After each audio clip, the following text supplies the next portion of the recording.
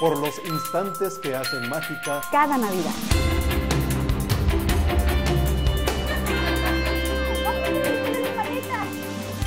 Disfrutar cada instante es vivir la Navidad. Porque la Navidad está en.